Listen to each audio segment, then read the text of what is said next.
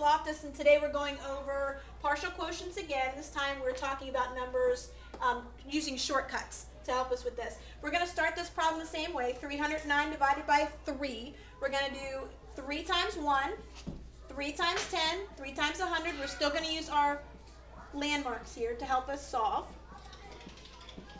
And we're going to make a decision. 3 goes into 309 how many times getting close without going over we're going to use 10 or excuse me 100 100 times 3 is 300 and when we subtract we get 9 I'm going to do it just the way we did yesterday and then I'll show you the shortcut. We could do 3 times 1 3 times 10 is too high. It's going to be higher than 9 and so is 3 times 100 so we'll do 3 times 1 is equal to 3 subtract is 6 same thing we're going to do 3 times 1 3 times 1 is 3 Subtract, you get 3.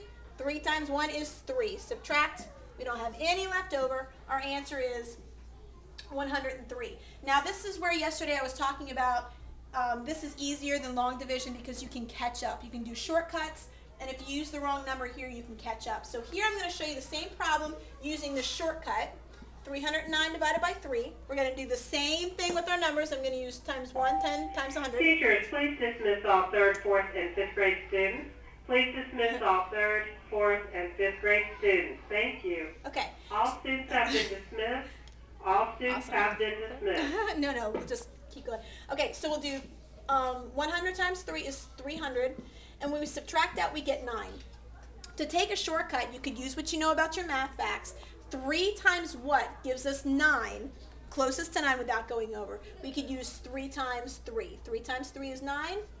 We have no remainders, and our answer is still 103.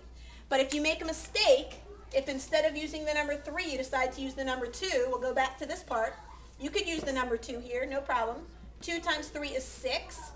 You subtract, and you've got 3, and then you could do 3 times 1. 1 times 3 is 3, and you still get the same answer, 103. Um, Monday, we're going to be doing remainders, um, or the next lesson we will. We didn't get to it today. So if you have any questions, let me know. Have a great weekend. Very good. Still going. Oh, I pushed it out. No, it's not stopping.